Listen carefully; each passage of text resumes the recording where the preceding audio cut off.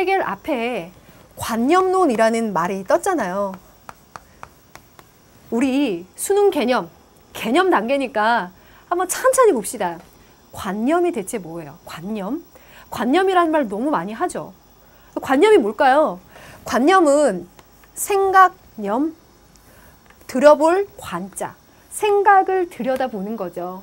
생각을 바라보는 거예요. 아, 생각을 바라본다라 함은 우리가 감각적으로 경험하는 이 감각적인 눈으로 보는 것이 아니라 인간의 이성적인 합리적인 능력을 발휘해서 정신 능력을 발휘해서 생각을 본다는 거겠죠.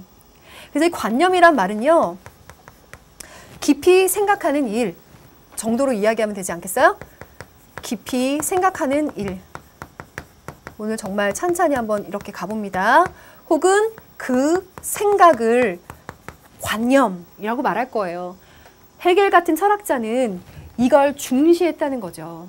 그러면 그런 철학자들을 묶어서 관념론이라고 말한다는데 대체 그럼 관념론은 뭐라고 표현하면 좋겠느냐?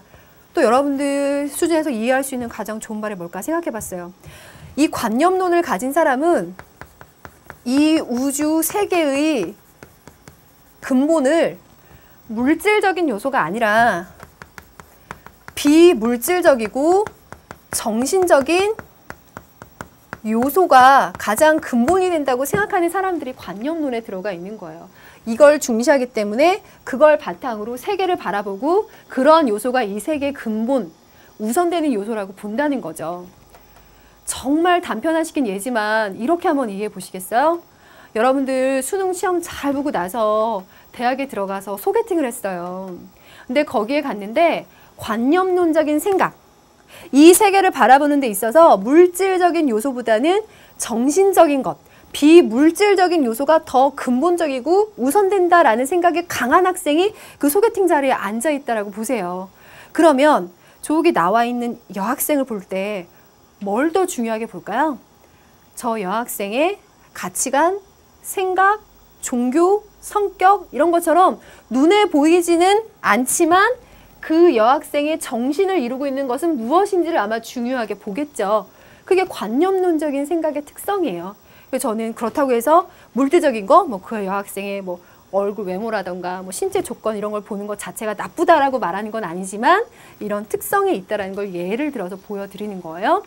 자, 해겔이 바로 그런 정신적인 요소를 근본적인 것으로 보는 철학의 합파에 있는 사람입니다. 자, 그럼요.